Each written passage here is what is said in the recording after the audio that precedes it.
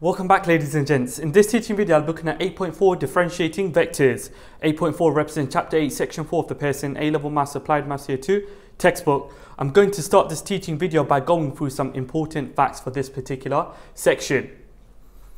R with the squiggle represents the position vector of the particle. V with the squiggle represents the velocity vector of the particle. A with the squiggle represents the acceleration vector of the particle. Now, if you take the position vector and you differentiate it, you get the velocity vector. So the velocity vector is the derivative of the position vector. This can be rewritten as r squiggle with a dot on top. This represents the derivative of the position vector with respect to time. If you differentiate the velocity vector, you get the acceleration vector. So the acceleration vector is the derivative of the velocity vector you can rewrite this as a v squiggle with the dot, which represents the derivative of the velocity vector with respect to time. Alternatively, to find the acceleration vector, you can find the double derivative of the position vector. So we have r squiggle with two dots on top to indicate the double derivative. So this represents the double derivative of the position vector with respect to time. Here is exam style question 1. A particle P is initially at a fixed origin O. At time t equal to 0, P is projected from O and moves so that at time t seconds after projection, its position vector, r squiggle, meter relative to a fixed origin O is given by this particular vector equation. So the position vector r is equal to t cubed minus 12t in brackets i plus 4t squared minus 6t in brackets j we have a restricted domain for t, the time, and that is t is greater than or equal to 0. Find part A, the speed of projection of p. Part B, the value of t at the instant when p is moving parallel to the vector j. So let's start off with part A. So we want the speed of projection. Ladies and gents, the speed of projection is the initial speed. So this implies that we're trying to calculate the initial speed. So if we want to calculate the initial speed, we're trying to calculate the magnitude of the velocity vector when time is equal to zero. Now, to find the velocity vector, we need to differentiate the position vector. So the velocity vector is given by the derivative of the position vector. So now we're going to differentiate the position vector. The derivative of t cubed is 3t squared minus the derivative of 12t is 12 in brackets i plus open bracket the derivative of 4t squared is 8t minus the derivative of 6t is 6 meters per second. So that there is my velocity vector equation. Now we're going to substitute t equal to 0 so when t is equal to 0, the velocity vector is equal to minus 12i plus minus 6j.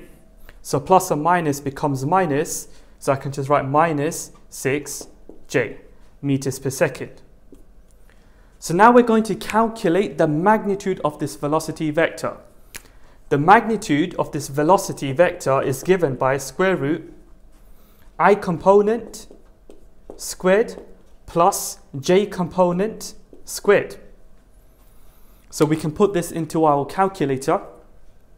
And if we do this, we get that the magnitude of the velocity vector is equal to 6 root 5 meters per second. And to three significant figures, this is 13.4 meters per second. Let's move on to part B. The value of t at the instant when p is moving parallel to j. So we have that p is moving parallel to the vector j. So if I draw a coordinate grid, we know that the horizontal axis represents the i-axis and the vertical axis represents the j-axis. So we want the particle to move parallel to j. So the velocity vector is parallel to the vector j. It's in the same direction.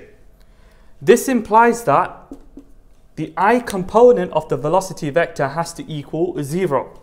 So i component of the velocity vector has to equal 0. Now we've got the velocity vector, ladies and gents. Here is the vector equation. So we take the i component, which is 3t squared minus 12, and we set that equal to 0. Now we can solve for t. 3t squared is equal to 12, t squared is equal to 12 divided by 3, which is 4, and so t is equal to the positive square root of 4. Remember, time is positive. Over here, we have t is greater than or equal to 0. So we take the positive square root. This gives us t equal to 2 seconds. Hence, the value of t at the instant when p is moving parallel to the vector j is t equal to 2 seconds. Moving on to part C.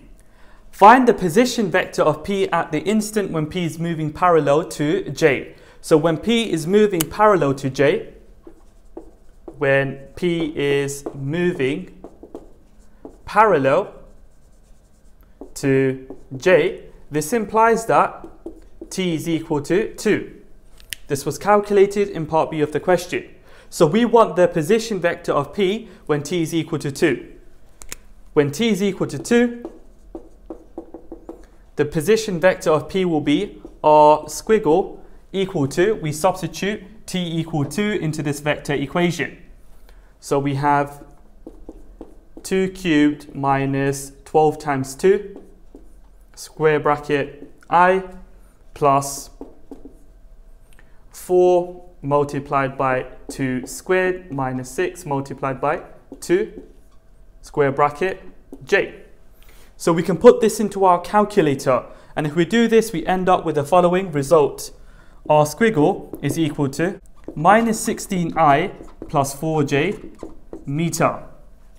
So ladies and gents, the position vector of P at the instant when P is moving parallel to J, in other words, when T is equal to 2, is given by R squiggle equal to minus 16i plus 4j meters.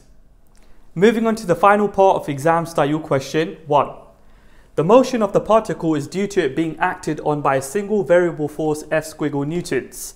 Part D, given that the mass of the particle is 0.5 kg, find the magnitude of F squiggle when t is equal to 5 seconds. Ladies and gents, by Newton's second law, we know that F is equal to ma. So the force vector F is equal to m multiplied by the acceleration vector a. Now the mass of the particle is 0.5 kg. So this implies that the force vector is given by 0.5 multiplied by the acceleration vector. Now to find the acceleration vector, ladies and gents, we have to differentiate the velocity vector. This is my velocity vector equation. I'm going to differentiate this with respect to t. So the acceleration vector is equal to the derivative of 3t squared is 6t uh, we know that minus 12 differentiates to 0, so I can put i here. Plus, the derivative of 8t is 8. Uh, we know that minus 6 differentiates to 0, so I can put j over here. I don't need to include the bracket, so I can just write 6ti plus 8j meters per second per second. Right, so that's my acceleration vector. I can put it back into Newton's second law. So the force vector F is given by 0.5 multiplied by this particular acceleration vector. 6ti plus 8j. Okay, so we're going to multiply this and we get that the force vector F is equal to 6t multiplied by 0.5 is 3t and we can put I there.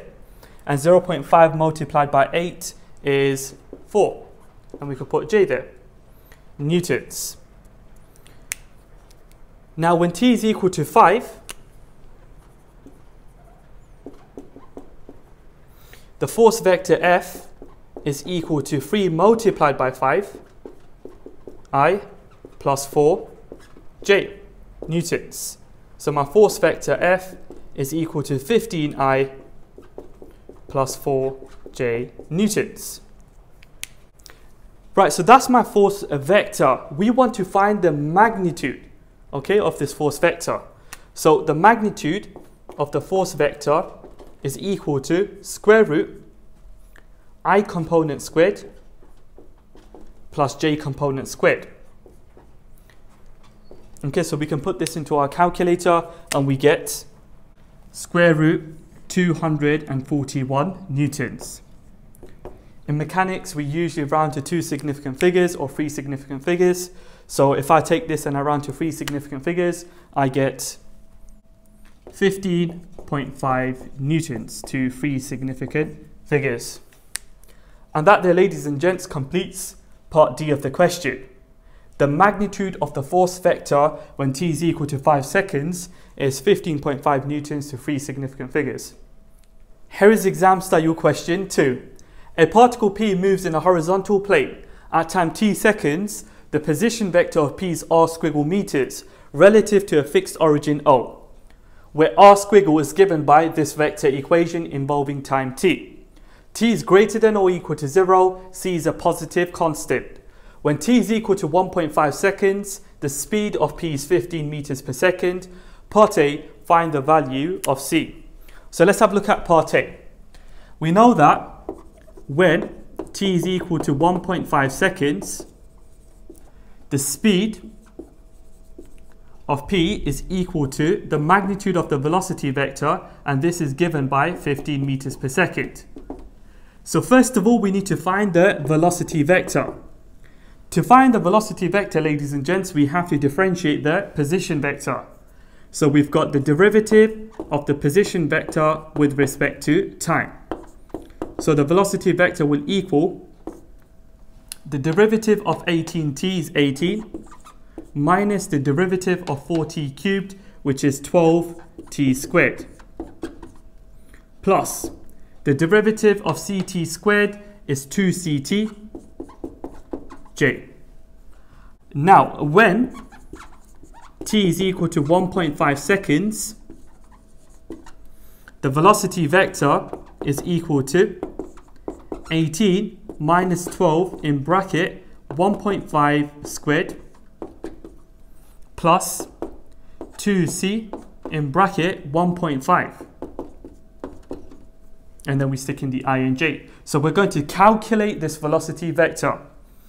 So if I put this into my calculator, I get that the velocity vector will equal minus 9i plus 3cj meters per second.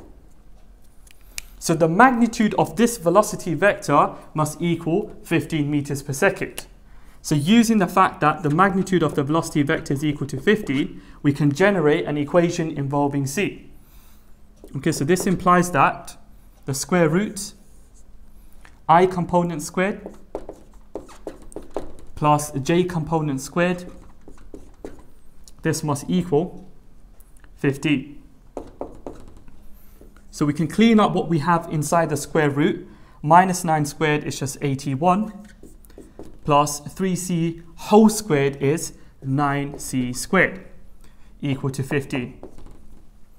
Right, to get rid of the square root, we need to square both sides. So 81 plus 9c squared is equal to 15 squared, which is 225. We can take the 81 to the right hand side. So we get 9c squared is equal to 225 take away 81, which is 144. Hence, c squared is equal to 144 divided by 9, which is 16.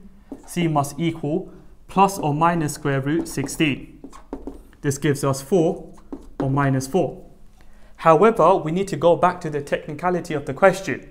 C is a positive constant, So we reject minus 4 and we take c equal 4 to be our final answer.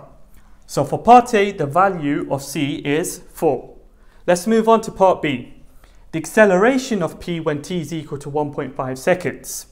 Firstly, when c is equal to 4, our velocity vector is given by 18 minus 12t squared i plus 2 multiplied by 4, which is 8tj. To find the acceleration vector, we need to differentiate the velocity vector with respect to time. Derivative of 18 is 0. Derivative of minus 12t squared will be minus 24t. Plus, derivative of 8t is 8. And then we stick in our i and j as well. So meters per second per second. We want to find the acceleration of p when t is equal to 1.5 seconds.